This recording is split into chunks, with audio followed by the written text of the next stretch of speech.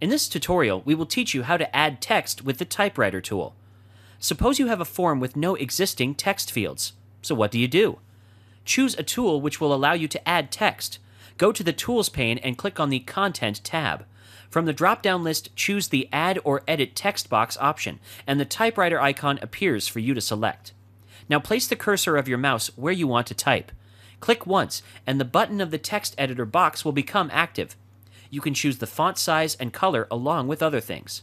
Type the text and then go to other areas where you want to enter it. After you are done entering the text, you can edit it by clicking on the area of the text and making changes to it. In this video, we have changed the font color and the font size just to show you how it works. Sometimes selecting text becomes a problem with the typewriter tool, so you can always use the Select Object tool for selection. The texts that you enter are actually comments that can be edited by other people when you send it to them.